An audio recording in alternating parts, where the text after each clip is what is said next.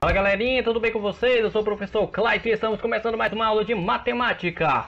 Hoje o nosso tema será área do retângulo e do quadrado, então vamos lá! Primeira coisa que devemos saber é que a área ela é uma das coisas mais importantes dentro da matemática e dentro do nosso dia a dia. Porque ela serve para nós sabermos o tamanho da superfície de uma figura, de um lugar. Por exemplo, eu quero saber quantas cerâmicas eu vou colocar numa casa. Eu tenho que saber a área dessa casa para saber quantas cerâmicas eu vou comprar. Eu tenho que saber a área de uma parede para saber quantos, é, quanto de tinta eu vou utilizar e por aí vai. E também para me medir, medir terrenos, medir apartamentos.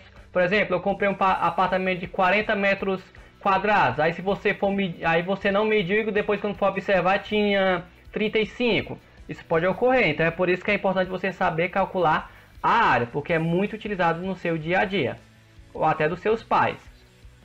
A área e o perímetro, é, muita gente confunde, mas as duas coisas são diferentes.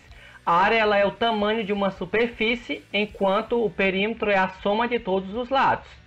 Por exemplo, eu tenho essa parede aqui com 4 metros de frente e 2 metros de altura.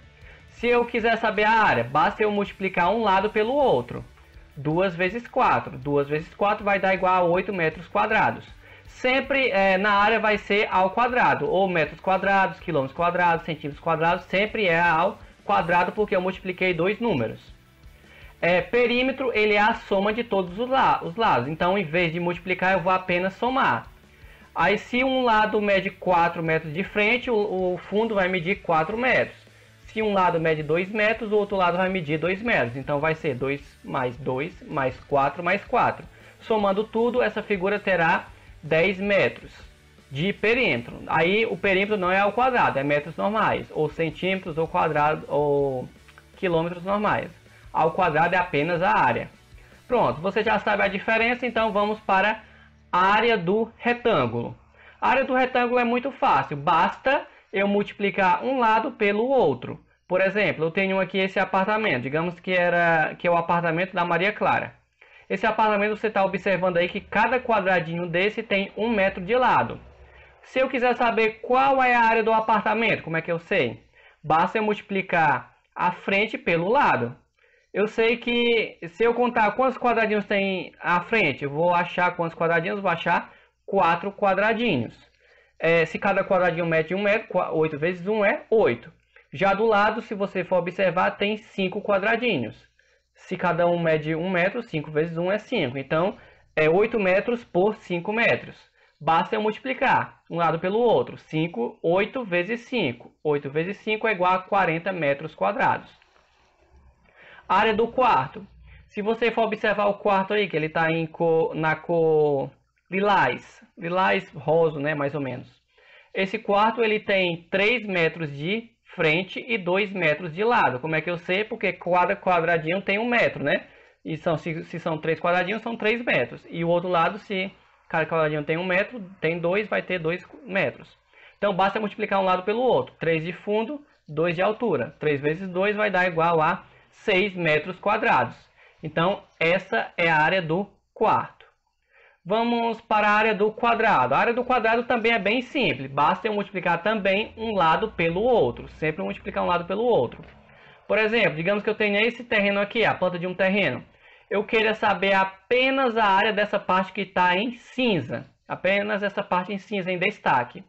Eu sei que cada quadrado tem 2 metros de frente. Como é que eu calculo a área? primeiramente eu tenho que saber quanto, quanto mede cada lado do quadrado. Como é que eu vou fazer? Basta eu contar quantos quadradinhos eu tenho. É, quantos quadradinhos eu tenho na frente do, desse, desse quadrado aí? Eu tenho 1, 2, 3, 4 de frente. Se cada quadrado mede 2 metros de frente, eu vou ter 4 vezes 2. 4 vezes 2 é 8. Então, cada lado do quadrado vai medir 8. Por que cada lado é 8? Porque o quadrado, todos os lados são iguais. Então, se um lado mede 8, todos os lados medirão 8. Então, eu já sei que cada lado do quadrado mede 8. Agora, eu vou calcular a área. Para me calcular a área é muito simples. Basta eu multiplicar 8 de um lado vezes 8 do outro. 8 vezes 8 vai dar igual a 64 metros quadrados. Então, essa é a área do quadrado. Multiplique um lado pelo outro que você vai encontrar. Também muito, muito simples. Agora vamos para um pouco mais complicado, que é a figura, a área da figura irregular, que não é tão, se bem que não é tão complicado assim não. É muito simples, na verdade. Se você quiser saber a área dessa figura aí, que é essa figura amarela, ela é uma figura irregular, basta você dividir ela em partes e calcular a área de cada parte. Por exemplo, é, você está observando aí que, que essa igreja e a planta dessa igreja, ela tem como se fosse um retângulo maior e um menor, não é? Eu posso dividir eles e calcular separadamente, porque vai ser mais fácil. Então basta eu fazer o seguinte, eu, eu divido a área maior, né, calcular a área da maior, pronto, circulei essa área maior aí. O que é que eu vou fazer? Vou contar quantos quadradinhos ela tem de lado. Eu sei que cada quadradinho tem um metro de... um metro de... Cada quadrado tem um metro de frente. Então basta eu, eu saber quantos quadradinhos eu tenho. Nessa figura amarela você tem 10 quadradinhos, então 10 vezes 1 é 10, então mede 10 metros. O lado vai ter 4 quadradinhos, 4 vezes 1 é 4, então vai ser 10 metros por 4. 10 vezes 4 vai dar igual a 40 metros quadrados. Essa é a minha resposta. Não, agora eu tenho que, tenho que calcular a área do retângulo menor. A área do retângulo, retângulo menor que eu separei agora é só fazer o seguinte. Eu sei que tem 4 metros de frente, porque tem quatro quadradinhos, e eu tenho dois quadradinhos de lado, então 2 metros de lado. Então basta multiplicar 4 vezes 2, que vai dar igual a 8 metros quadrados. Então, achei a área do, da figura maior, achei a área da figura menor, agora basta eu somar as duas que eu vou ter a área total. Então vai ser 40 mais 8, que vai dar igual a 48 metros quadrados. Então essa forma você vai utilizar apenas para figuras irregulares que não tem um formato bem definido igual às outras. Então essa foi a nossa aula de hoje. Muito obrigado pela atenção, boas semanas a todos e tchau, tchau!